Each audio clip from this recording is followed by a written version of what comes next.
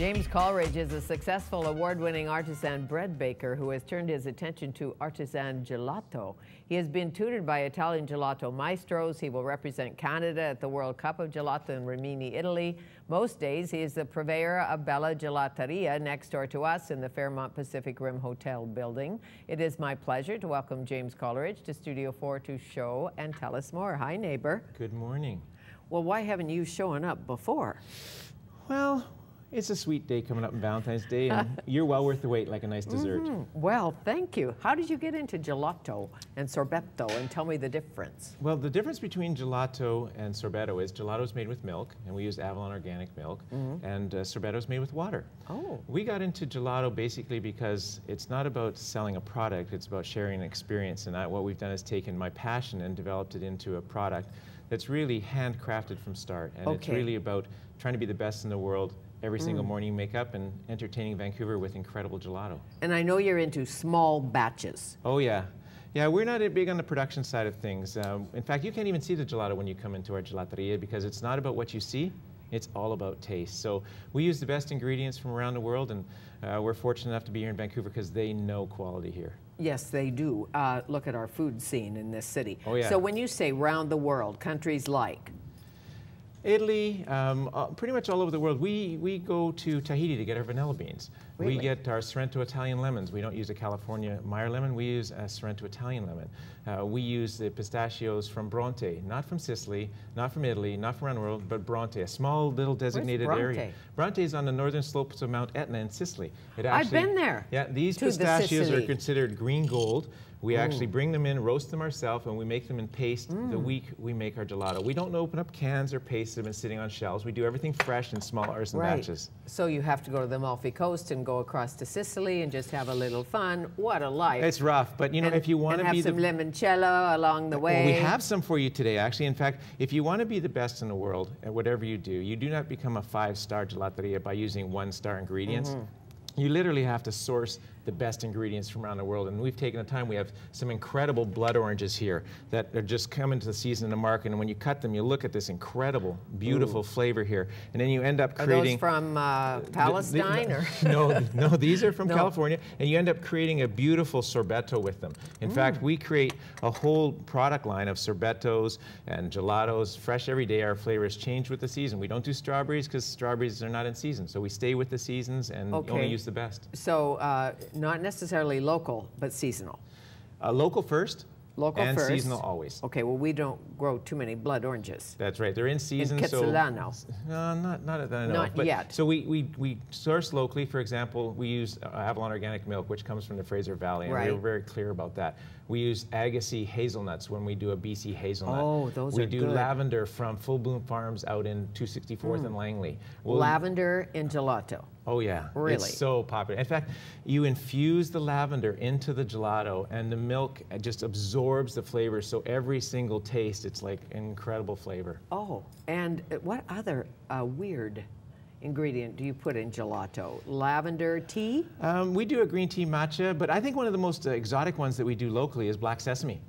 Really? Black sesame is a very, very popular, but if you want exotic. So that sounds savory to me. Yeah, black sesame is a sweet. nutty, sweet flavor. Actually, it's black sesames from mm. Japan. We bring them in roasted and we make the paste the day we, day, we, day we okay, serve it. Okay, more calories in a gelato or a sorbetto? Um, in a gelato because it has milk. I was thinking. Um, but the one thing about gelato and sorbetto is it shouldn't taste sweet. It shouldn't taste cold because if it's cold, it'll freeze your palate. In fact, when you come into the gelateria, because you can't see it, we're trying to preserve this little tiny ice crystal when the moment it's born in a perfect state to the time you taste it. Okay. So we do kind of extremes. We'll do like akbar mashti, which is a Persian recipe, which has saffron rosewater, pieces of Devonshire cream, and pistachios cut through it. Or we'll do kulfi from northern India, India which is cardamom and saffron, blended together. So we make all these exotic mm. flavors for the local community as well. Okay, so not too cold. Yeah. Not too cold, secret, different than ice cream. Oh, ice cream. Ice cream is definitely uh, 28 to 33% fat. The, our gelato is roughly around seven. So you can either have four times as much or you can have four times as much Sure. pleasure by eating half. Well, when you go to the major dinners, as you know, you uh, always get a little sorbetto to cleanse the palate in between courses or at a certain point in the evening, all of that. So what's in that little bowl? Well, this little bowl here, and you're more than happy to, this is a blood orange that we have here that we made earlier this morning. This is a lemon from Sorrento Mm-hmm. with a nice lemon zest, and this is Jamaica. This is a lavender, this is a flower, hibiscus flower from Mexico City. Really? Yeah. And now, do you have a machine you do this in, or do you Uh, we, stir we do, How all, do you we do, do it? it all from scratch. It's labor intensive in the sense that uh, it's not easy to do artisan gelato. It really isn't. But you know not. what? Vancouver appreciates it, so we don't mind spending 12 to 14 hours a day. So we make it all from scratch. in a machine? Oh yeah, our machines are the first in North America to have this uh, old style batch freezer, which you stand in our place, and we have this little saying called "Non lo facciamo davanti a tutti," which in English means of course you we do do. it in front of everyone. Now here they think it's an open kitchen. In Italy they have a different mm-hmm. meaning for this saying. And we can talk about that another time. Okay. so so we I'll have have a, to write that down. so we And have a beautiful chocolate. chocolate. Yeah, we use Michel Cluizel chocolate, and we do everything from scratch. One of some of the best chocolate in the world. And- Michel Cluizel from France. Cluizel from France. Yeah, and we have a dulce de leche and a very Argentinian recipe that we use where we we make this uh, dulce, this caramel, over nine hours by cooking on a pot with a touch of a vanilla bean. And we have a beautiful vanilla as well from Tahiti. So we have on average around 24 flavors a day, fresh every day. We sell it. And the most popular uh, little cone at your, I, I'm assuming you put gelato in a cone or do you just put it in a bowl? In both, we have ceramic bowls we serve for people who are sitting there. Plus, Mm-hmm. we have uh, cones for people to take away. And I know you don't have bubble gum, so. No, we don't do the ice cream thing. What's your most popular flavor? It depends on the day. Right now, it's blood oranges. Mm. Blood oranges are really good. And mango. We're making mango in about an hour from now. We're using a beautiful mango from India. Ooh. And it's just going to be gorgeous. We're going to peel these and turn it right into a nice, beautiful sorbetto. Okay, so the um, the combos too, you know, isn't it something when you can come and say, I'd like a little cappuccino and then I want a chocolate and then I want a this and Oh, yeah. all together. Uh, tell me about the cakes. Well, the cakes are gelato cakes. We make gelato cakes uh, within 24 hours of people asking for them. So we pick your flavors and we make beautiful cakes. We've got a lot doing done for Valentine's. Is that all gelato is there it's all gelato. Everything, So every the whole thing is the whole thing is gelato, and it's going to slide right off, you know, it it? wants us and That we want it. Yeah, exactly, but it would sure like to slide on the floor, but we won't allow that. No. Well, the lights are hot, as you know, so we know it's real. Yeah. So what's in that particular cake? This is a uh, chocolate noir, 85% dark chocolate with Mm. an espresso using Milano local coffee brewer.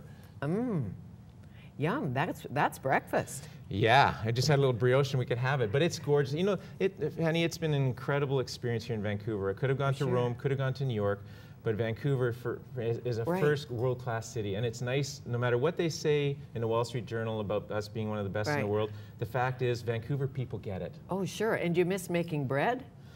Uh, no, no, I have much more fun with this. Bread, we, we kept making the same flavors almost all the time. This, you stay in season. Black Mission figs, using honey nougat from Italy, using a nice, nice espresso, using the pineapples are coming in market, so we're in pineapple. So Right. it's really, every morning I wake up and go, what are we going to do today? So for Valentine's, I guess you're giving, do you have a partner? Uh, yeah, so for sure. Okay. So you're giving a part, your partner this, aren't you? Or would it be a diamond? Uh, gelato. Gelato. Gelato. That gelato's From the the store, dear. Yeah, and we're going to do a uh, what's called faluda, which is a rose water with rose red ro- Mm. red rose petals and a rice noodle in it. It's a Persian recipe that we'll be doing What? special as long as A rice noodle? rice noodle with rose water and red roses. That'll be one flavor we're doing for Valentine's, and the other is a white chocolate from Michel Cluizel with uh, red cinnamon through it. Mm. And so do you sit up at night uh, making this up and then you, te- and you test it or what? Yeah, pretty much all the Pretty time. much. It doesn't the turn out. Passion going. doesn't go away just the because brain's you going, sleep. I should say, not the head's going. And you go to the World Cup uh, two World- years, in- 2013? In 2012. 2012. In January, uh, we're putting Team Canada together. Next year. Yeah, I was there uh, just recently uh, on a, uh, with Team USA and Team Australia. And it's going to be an opportunity to, again, put Vancouver on the map in terms of being one of the gela- best gelato cities in the world. Wow. And uh, do all of the uh, gelato uh, people have spoons in their sleeves? I do, because I like to taste a lot. so, yes, I do. This Well, spoon gets washed and used a lot. That's very clever. Very observant of you. Yes, thanks for stopping Molte by. grazie, ciao. Molto grazie. James Coleridge, uh, Bella Gelateria, next door to the Shaw Tower.